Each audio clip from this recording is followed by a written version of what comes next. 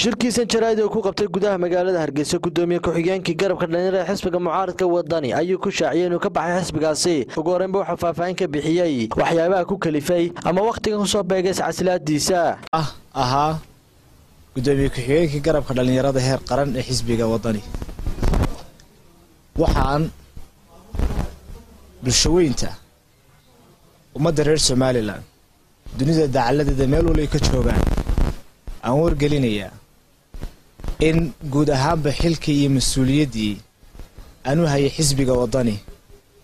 Aan iska casilay anoo fayow miyir qaba kuna iimaan qaba iscasilaadaas ayay ga soo gooday. Waxaan soo kale bulshada wargelinayaa in hadda aanay jirin xisbi siyaasadeed aan masiirkayga iyo masaalixdayda aan ka dhex akhristay oon ku socdo balse dhowaanaan filan doono meesha masiirkayga maslaxadeyda iyo maslaxadda ummadda somalilan iyo ta gobolka awdal baan ka dhex arkay inaan tago waxaa sabab u ah iscasilaadayda ta lagama tegaanka ah markaanu wada shaqayn kari weynay.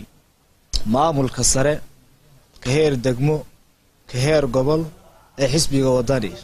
Isdhex socodka baahsan ixtiraam la-ida daafaha rogatay iyo waxyaabo badan oo la halmaala waxaynu filan doonaa sababaha iyo wax ka badan iscasilaadayda iyo cid barta sida dhabta aan ugu biirayo.